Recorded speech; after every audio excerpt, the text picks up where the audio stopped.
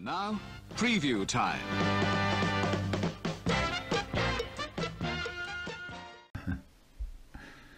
The G-Man.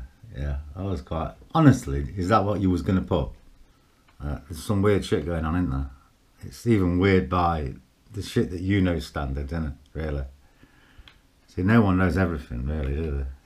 Not even me. I'm never going to figure it all out. Never. I'm never going to figure it all out, but I've got some suspicions. But anyway, yeah, what I was saying about the babushka that looks like the busty blonde, yeah, that Jay Davis used to pretend to be, yeah? You knew the one I'm on about, don't you? You know the one I'm on about. That one. Yeah. So got look like that, with them sort of eyes, blondie like that. There's a rack on, I like that. I don't know why she sent me that one. Uh, you know, something like that, mate. You know what I mean? And that go down nicely. How much did you say? How much did you say? Let's have a look. what was it? 93969. The Goose Drank Wine. With the Morris Minor Van at MM33.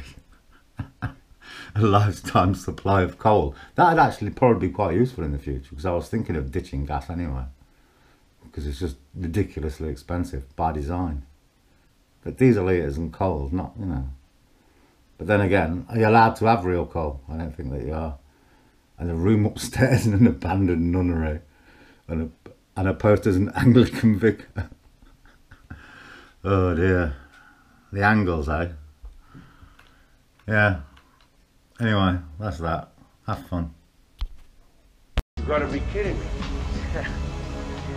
you know it's gonna take more than those two clowns you just sent after me to take me down. die